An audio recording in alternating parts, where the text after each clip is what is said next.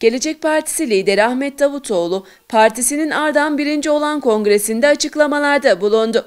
Uygur Türklerinin Çin'e iade edileceğini öne süren Davutoğlu şöyle konuştu. Basına düşen haberlerde Türkiye'deki 50 bin Uygurlu kardeşimizin Tacikistan'a, oradan da dolaylı olarak Çin'e gönderilmesi için çalışma yapıldığı söyleniyor. Bu tarihi ihanettir. Uygur kardeşlerimiz bu toprakları Çin'in zulmünden kaçmak için gelmişlerse onları tekrar Çin'e iade etmek, Stalin'e iade edilen Azerbaycanlı kardeşlerimiz gibi bizim yüreğimizi yakar. Bu toprakları muzdarip hale getirir.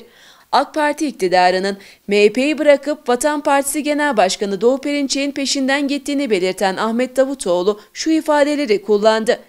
İktidarın bir küçük ortağı var ya, Çin'in Türkiye sözcüsü olan, Doğu Türkistan'daki toplama kamplarını öven, 28 Şubat artığı olan ortak. Anlaşılan bugünlerde Sayın Cumhurbaşkanı esas ortağı MHP'yi bırakıp küçük ortağının peşinden gitmeye karar vermiş dedi.